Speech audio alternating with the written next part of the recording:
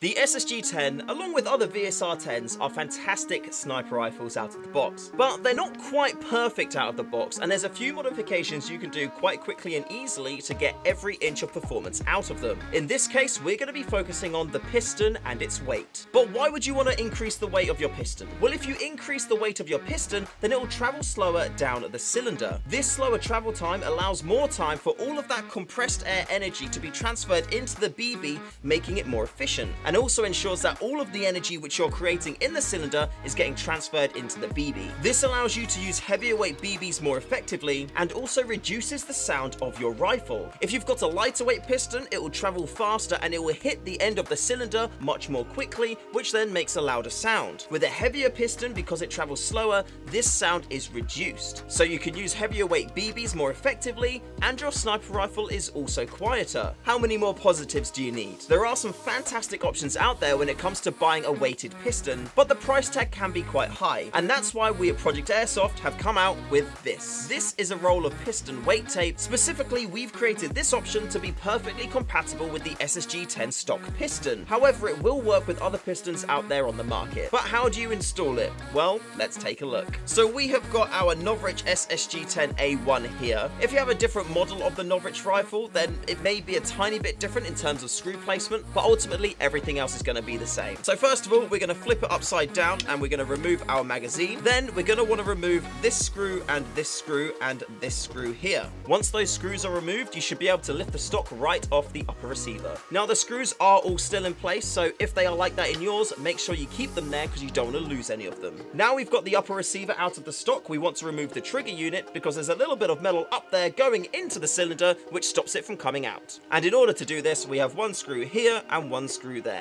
And with the trigger unit removed just like so, our cylinder should now just we can now put the upper receiver to the side, and again with the trigger unit, make sure those screws don't go anywhere because we are going to need them later. With the cylinder out, we want to remove the nozzle here, and to do that quite easily, I like to take one of my hex bits, poke it into one of those holes, hold them together, and then twist it off. You want to go slowly when you do this because when this unscrews completely, you are going to have pressure from the spring and the piston inside, which are going to want to spring out a little bit. And now we can remove our piston. The spring and the spring guide can stay inside the cylinder, and we just want to put that to the side for now with all of the other parts. So now we have our piston, it's time to apply some weight tape. And to do this, we want to start unpeeling our weight tape here. We want to stick one end onto the piston right at that lip and we're going to spin it around the piston. And because of the diameter of the Novritsch piston, we can actually get two full wraps around it with the weight tape. So that there is one full wrap, and then this here is the second full wrap. Now you'll be able to see where the weight tape overlaps itself by looking at the edge of where you've wrapped it on. And you want to cut it right at the seam. Because the metal's really soft, you can do it with a standard pair of scissors. With the weight tape then cut off, we just want to finish wrapping it round and sticking that side down onto itself. To make sure it's a nice and smooth transition, we will take a hammer and give it a few taps just to make sure it is nice and flat. And that's our first band of weight tape on. Now it's just a case of rinsing and repeating until the whole shaft of the piston is covered. When done correctly, you'll find that you'll get four strips of the weight tape perfectly in between these two ridges from the top and the bottom of the piston. But we still can get two extra pieces on there. And to do that, you cut down some of your weight tape into smaller, thinner strips like this. Again, you would measure them out in the exact same way that you did with the other pieces of weight tape and then apply them. Although with these ones, you can only do a single layer because the ridge that these are going on is already coming out a little bit further than where the other pieces of weight tape are already attached. That's the first one on, and that's the second. Now this is looking absolutely perfect. This is exactly what we want to see when we look at the piston with weight tape on. But there's one thing else which we want to do. Just to make sure that all of the weight tape stays in place and it doesn't shift at all during use, we're going to take a little bit of electric tape here. I'm going to tear off a fresh end for it, and then I'm going to wrap this around the weight tape as it is on the piston. So the tape, I'm going to start off here at this end and do it nice and tight all the way around the weight tape like so.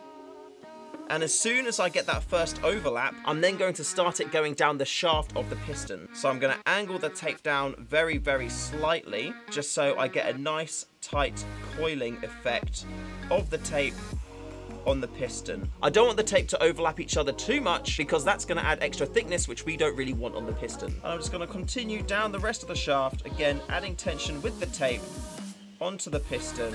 Then when I get right to the end, like I am here, I'm just going to even it out and do a flat round circle on the piston, just like I did at the top when starting. And when I get to the point where it is fully overlapped, I'm going to pull it tight, tear off the end, and then push that flat like so. Once you've done that, this is what your piston should look like, and it'll be easy to see if you may have any little bulging areas from the weight tape on there. So I can see here, this bit is a little bit more raised up than I would like it to be. Get my hammer and give it a couple of love taps. And just like that, that slightly raised area is now smooth as a baby's bum. And that is the piston done. So I'm now going to get my cylinder back, pop the piston on top of the spring like so, get my cylinder head, put that into place, grab my upper receiver and put the cylinder in place like so. Then I'll grab my trigger unit with the screws in place and put that in, tighten up those screws. At this point, we can do a quick test just to make sure everything is working. Make sure there's no BBs in there and also fire in a safe direction just to be doubly sure.